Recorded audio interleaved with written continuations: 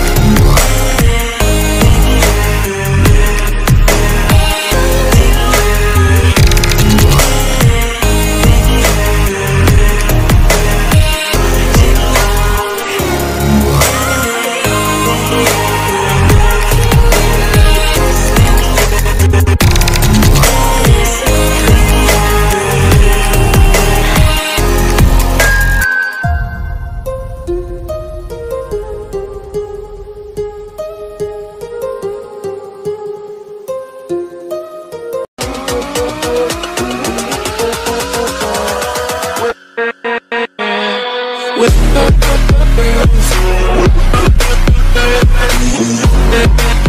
back.